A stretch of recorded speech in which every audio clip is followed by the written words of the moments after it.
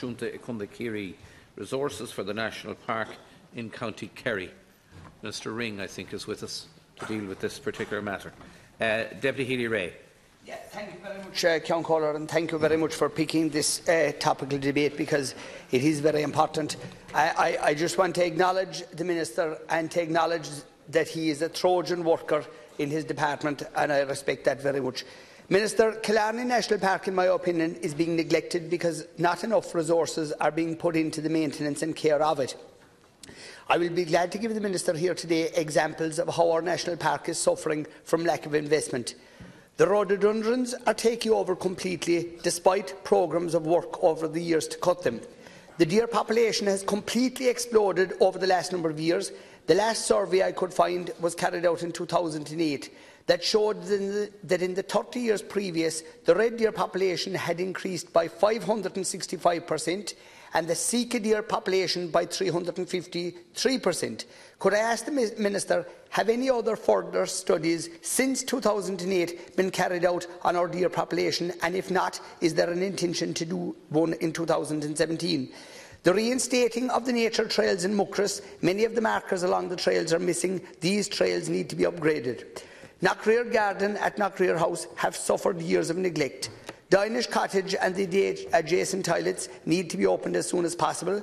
And most importantly, the number of park rangers been has been reduced from nine to four, with two more to retire next year. This is simply not good enough, Minister. Minister. And what I want to acknowledge is the great and excellent work that has been done by our park rangers in, in their job and the other workers the grounds people that have been there in the past. I want to acknowledge them. But what has happened, Minister, is the, the resource that we have, which is the beautiful National Park in Killarney. We all know that Killarney is not the tourism capital of Kerry or of Ireland or of Europe, but it is the tourism capital of the world. And I want to put on that on the record of the House. There is no place better in this world than Killarney or its national park. And I'm asking you, you and I acknowledged you here when, when, when I started, you're not a good politician. You're a Trojan worker. You're an excellent politician. But I want you to become our master for our national park in ensuring that the adequate resources that it requires will be deployed there. Because it's crying out for maintenance, Minister. When trees fall in the national park, they're left to rot inside there. I've raised it here inside in this chamber, and what I've been told is, oh, it's good for biodiversity to have it rotting in the ground and have the snails and the creepy crawlies growing through it. That's rubbish. We need that timber to be taken out of there and clean it up. Keep the place nice and clean, like the people long ago did before us and there was great resources put into it before.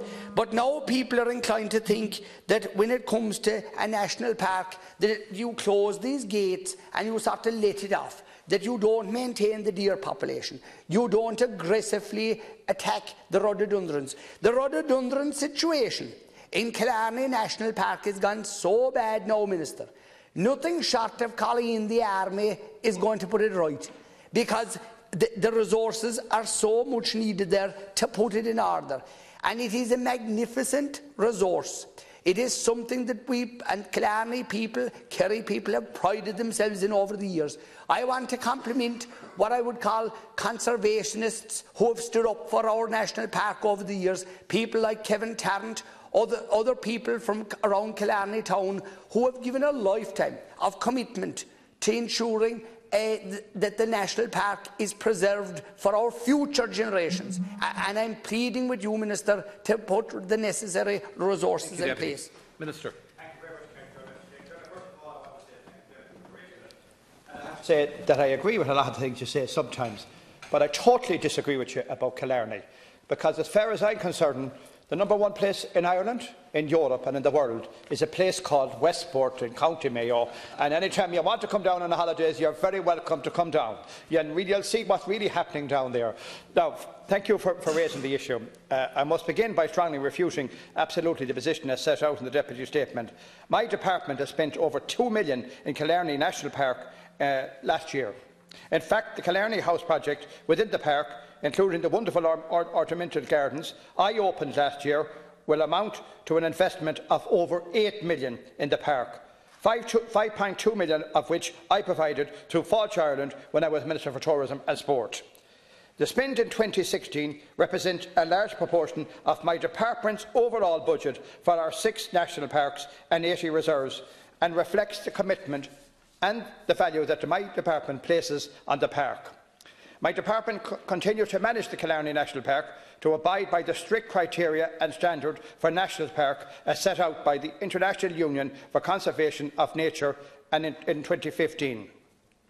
With regard to the issue of rhododendrons, as signalled in my response to the Deputy's recent parliamentary question, my department has invested heavily in tackling this invasive species, the, control, the control of which is difficult, costly and labour-intensive.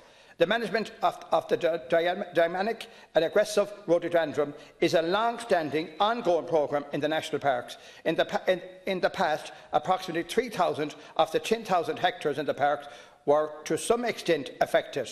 My department remains of the opinion that the existing management programme has, made has made significant inroads into the problem. Approximately 2,000 of the 3,000 hectares are under effective control in some 40 different sites. Our ongoing programme of works at this time is, is composed of four elements. The initial clearance and follow-up maintenance work by the contractors, ongoing maintenance work by volunteers and students, a rhododendron management con contract and ongoing work by the National Parks and Wildlife Service staff, including a coordinated research and monitoring. Since 2011, the department has invested over 700,000 over 700,000 to tackle the rhododendron clearance in Killarney National Park, and in 2016 alone, the department spent 209,611 euros on clearance.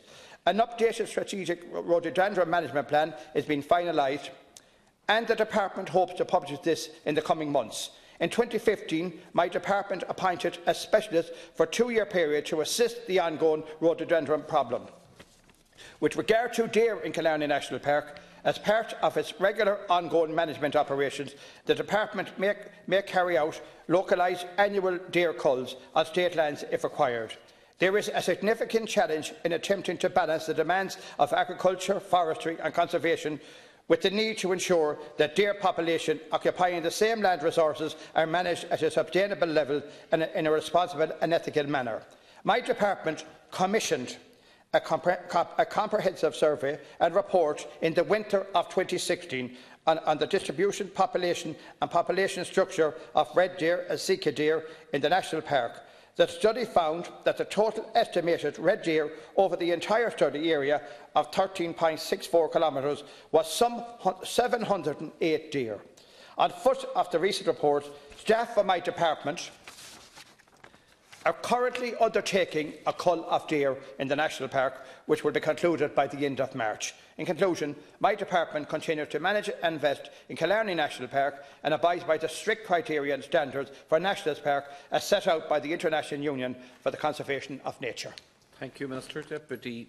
Thank you, Minister. At the outset, with regard to Killarney House, I want to acknowledge the late Jackie Healy-Rae, who put Killarney House on the political agenda prior to 2011 when your government took power.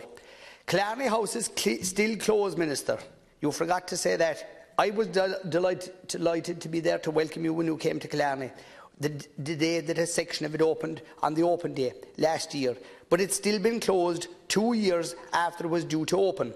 That is simply not good enough. We want it to be open fully. We want the people to be able to appreciate the money that has been spent there. And I acknowledge greatly the money that has been spent. But you're dealing with two separate issues, Minister. You're relaying a lot of what the money that has been spent in Killarney House. I'm talking to you about our national park and the fact that it is being neglected. You rightly state the money that has been spent, but we're losing the war with regard to the rhododendron. We're losing the war with regard to the deer that are after taking over completely. And we have to acknowledge that there was great management there in the past, and there is great management there at present, but they're being starved of adequate resources. And they, they need more help. We need more men and, women on the ground. We need more people working there every day, just doing the ordinary maintenance. That's all I'm asking you for, Minister. And I'm asking you to recognise that. You know that I'm not a blackguard. I wouldn't come in here today saying to you that our national park is being neglected unless it genuinely was. I appreciate your reply when you say, how can I say it's being neglected when millions have been spent there? Of course millions have been spent there. They've been spent in Killarney House, and rightly so. But I'm talking about maintaining the national park and keeping it into a living, breathing space where people can go and their children can go to enjoy Thank its you, Deputy. amenities. And thank you, Minister.